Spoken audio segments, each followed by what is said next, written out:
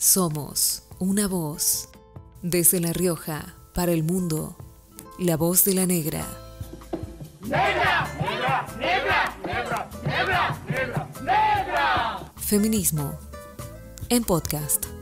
Murió Rebecca Guber, una de las matemáticas que puso en marcha la primera computadora científica argentina. Tenía 94 años. Fue una de las figuras más importantes de la ciencia en la Argentina del siglo XX. A comienzos de los 60 fue parte del equipo que puso en marcha el proyecto de Clementina, como se conoció la primera computadora diseñada para la investigación científica. Nacida el 2 de julio de 1926 en Avellaneda, Rebeca estudió en la Universidad Nacional de La Plata. Se doctoró en matemáticas en 1949 y se casó con el ingeniero José Guber. Dio clases en dos facultades de la UBA, Ingeniería y Ciencias Exactas. En 1960 formó parte del grupo que fundó la Sociedad Argentina de Cálculo, bajo la guía de un hombre clave en el desarrollo de la informática en el país, Manuel Sadowski. Con Sadowski fue autora de elementos del cálculo diferencial e integral.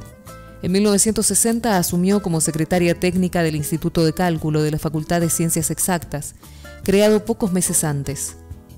Fue en el Instituto de Cálculo donde se desarrolló el histórico proyecto de la computadora clementina.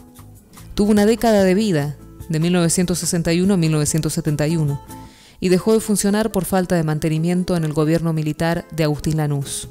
Elaboró modelos matemáticos de cuencas fluviales, se ocupó de problemas lingüísticos y de cálculos astronómicos, entre otros proyectos.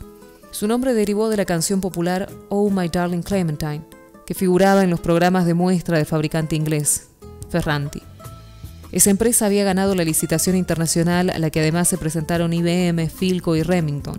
Como la computadora tenía un parlante, se podían generar tonos de manera rudimentaria por software, y le quedó ese nombre, pese a que luego se diseñaron programas para que sonaran tangos. Sin embargo, ese momento de esplendor para el desarrollo de la ciencia aplicada en la Argentina llegaría a su fin el 29 de julio de 1966, con la Noche de los Bastones Largos. El Instituto de Cálculo fue desmantelado y su equipo renunció. Sadowski y su grupo, Guber incluida, fundaron la consultora Asesores Científico-Técnicos, en la que continuaron con líneas de investigación del Instituto de Cálculo y fue un eslabón determinante en el desarrollo del software en la Argentina. Guber se convertiría años más tarde en asesora de Sadowski cuando éste regresó del exilio en 1983 y asumió al frente de la Secretaría de Ciencia y Tecnología de la Nación en el gobierno de Raúl Alfonsín. En el 2017, el aula del Instituto de Cálculo fue bautizada con el nombre de Guber.